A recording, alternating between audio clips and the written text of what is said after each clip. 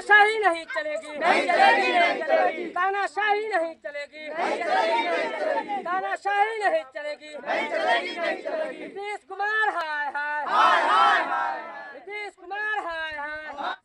आज ये प्रदर्शन हम लोग सीतामढ़ी डिस्ट्रिक्ट में मुरलिया चौक पे जो सांप्रदायिक दंगा हुआ वहाँ एक जो है बिरासी साल के वृद्ध व्यक्ति जैनुल अंसारी को पहले जबह कर दिया गया। उसके बाद से उनके लाश को जो है लाकर जो है जला दिया गया। उसी को लेकर निकम्मी प्रशासन के खिलाफ जो है आज में हम लोग विरोध प्रदर्शन कर रहे हैं।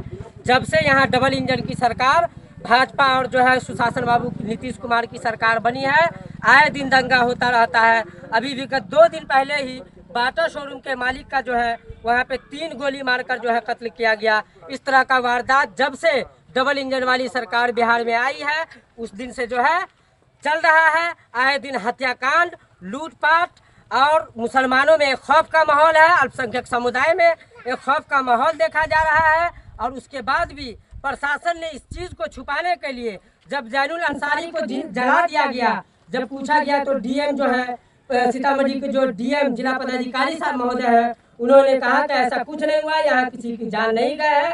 कृपया आप लोग गलत मैसेज पर नहीं जाए। मैं अभी उनसे दरखास्त करता हूँ, यहाँ से मुतालबा करता हूँ। मैं अपने द्वारा और पूरे यूथ कांग्रेस के टीम के द्वारा और भाजपा सरकार से और बिहार सरकार से जो है, मैं मांग करता हूँ कि जल्द से जल्द जैनुल अंसारी के कातिल को जो है, गिरफ़्तार किया जाए और उसे सजाए मौत दी जाए, इतनी भयानक सजा दिया जाए। ताकि जो है, आगे कोई इस तरह का दरिंदगी करने को आगे ना बढ़े, चाहे वो हिंदू को मारे या वो मुस्लिम को मारे, या वो दलित समाज का हो या जो है पिछड़ा वर्ग का हो, किसी भी वर्ग का वो व्यक्ति हो, लेकिन वहाँ पे जुल्म अगर हो तो वहाँ पे प्रशासन को आगे आनी चाहिए। वीडियो क्लिप में साफ़ दिख रहा है, साफ़ साफ़ वहाँ क्लियर दिख रहा है कि जैनुल अंसारी को कौन घसीट कर लेके जा रहा है। लेकिन वहाँ पे प्रशासन उसको जो है अरेस्ट नहीं कर पा रही है। वहाँ पे एसपी जो है उसको अरेस्ट नहीं कर पा रही है। एसपी किसको चिन्हित कर पा रही है? जब जो है खुर्शीद आलम अल्पसंख्यक कल्याण विभाग के सीतामढ़ी में पहुँचे और वहाँ पे यूथ कांग्रेस के जो है पदाधिकारियों ने मिलकर जो है